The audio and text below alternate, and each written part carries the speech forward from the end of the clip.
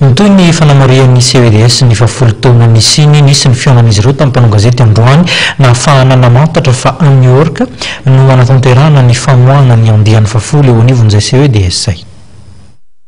Ny sabotsy ho avy izao dia hisy ny sorona masina karakarain'ny Centre d'Etudes Diplomatiques et Stratégiques ao amin'ny Katedraly Andohalo ho fangataham-pitahiana sy ho fiderana an'Andriamanitra noho ny fahatratrarana ny fahafolo taona nisiany.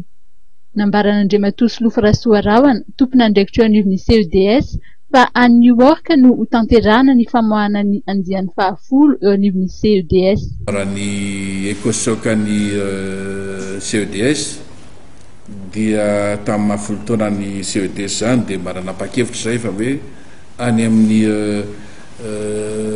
Foiben'ny Nations Unies any New York, Nomena ny diplaoma an' ireto olona mivoaka ato amin' ny CEDES ireto amin' ny volana août, début fin fin juillet izany raha ny tena marina, ary raha toa moa misy an' io sainam-pirenena amerikana io koa dia misy dihy koa izany ataonay any Etazonia any an,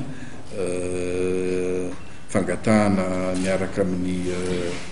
ao amin'ny Departement sy ny Gouvernement Amerikana mamelabelakevitra any sy hitsidika any koa ry zavatra atao hoe manana amin'ny maha-iza ny firenena Amerikana.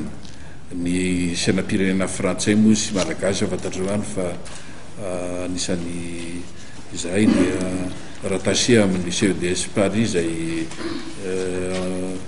Ny Cdesparis izay rattacher ihany koa amin'ny Ministère Praiminisitra Frantsay sy ny HEDM dia izany izany ny isan'ny zavatra hisian'ireo scène ireo.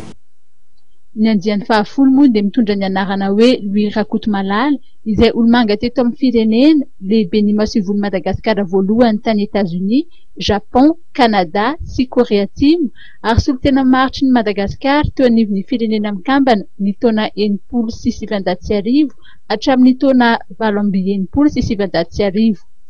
Nanatrika ity fihaonana tamin'ny mpampahalala vaovao ity moa i Mireille Rajaonard, zafikelin'izany olomanga izany. Ny raim-pia ity andiany fahafolo ity moa dia tsy iza fa ny filoha Hery Rajaonarimampianina. Nandritry ny fihaonana tamin'ny mpampahalala vaovao farany teo moa dia nisy ny fanaovana ny tatitry ny fikarohana nataon'ny mpianatra eo anivon'ny CEDS.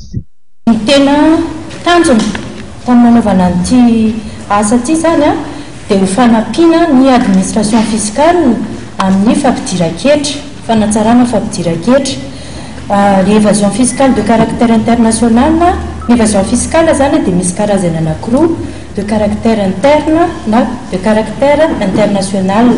Ny sur le plan interne dia efa misy tetikasa. sy stratégie izay efa nataon'ny Direction Générale ny Impôts.